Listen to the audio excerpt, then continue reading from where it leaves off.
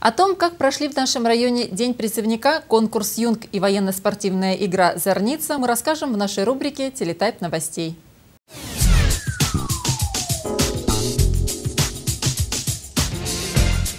Мы верим в тебя, солдат. Под таким названием на территории войсковой части 25356 Славянска на Кубани состоялась торжественная районная акция «День призывника». 25 юношей, уходящих в ряды вооруженных сил Российской Федерации в весенний призыв, выстроились на плацу. Среди новобранцев учащийся Славянского электротехнологического техникума Даниил Дорошенко. Сегодня я являюсь призывником в ряды вооруженных сил Российской Федерации. Я этим очень горжусь, а, потому что я считаю, что это неотъемлемая часть любой жизни каждого мужчины.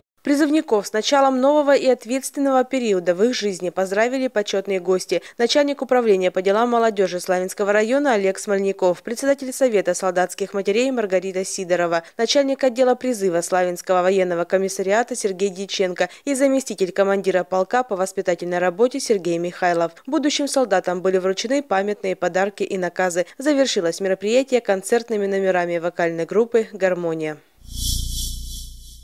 В Славянском районе завершился муниципальный этап военно-спортивных игр «Зорница». За победу приехали побороться 15 команд из школ города и района. Ребята соревновались в разборке-сборке автомата, стрельбе из пневматической винтовки, челночном беге, подтягивании и отжимании. По итогам соревновательного дня наибольшее количество баллов набрала команда 29-й школы станицы Петровской. Они и стали победителями. Второе место у ребят 5-й школы. Третьими стали учащиеся 48-й школы станицы Черноерковской. Лучшие команды будут представлять наш район на краевом этапе состязаний, который пройдет в июне.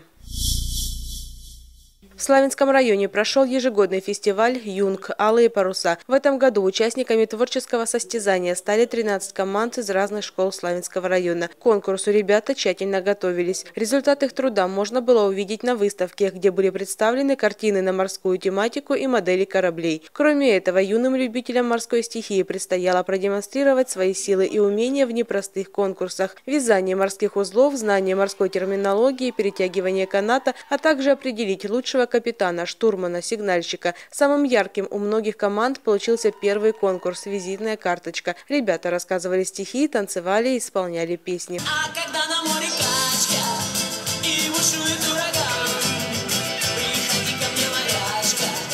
я тебе гитару дам.